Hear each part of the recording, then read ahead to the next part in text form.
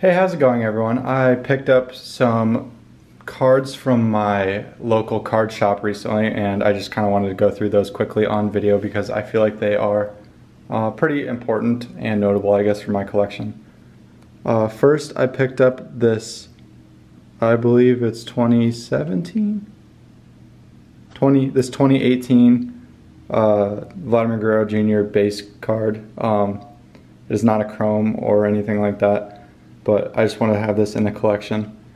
I picked up a Bowman's Best of Vladimir Guerrero Jr. to add that to the collection. Here I have an Ohtani rookie patch, Topps Chrome card. Uh, I believe that this was pulled out of a, yeah, it was pulled out of one of the 2018 Topps Baseball Complete sets. Yeah, very cool. Got that in a one touch. I picked up a 2019 Bowman Marco Luciano Bowman Chrome 10 from PSA. I feel like this kid's going to be hot eventually. He's very young right now, but he definitely has the upside to have a great MLB career.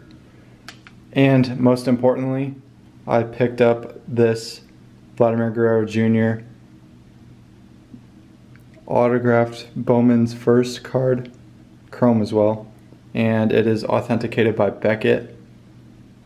This is definitely the, the highlight of my card purchases. Uh, just like I said, a very quick video just going through what I picked up from the LCS. Uh, I did pick up a few more things, but I'm saving those for their own video just because I don't really feel like they they fit in with this this same theme.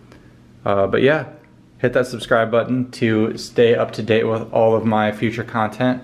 Leave a like if you enjoyed the video, and I will see you next time.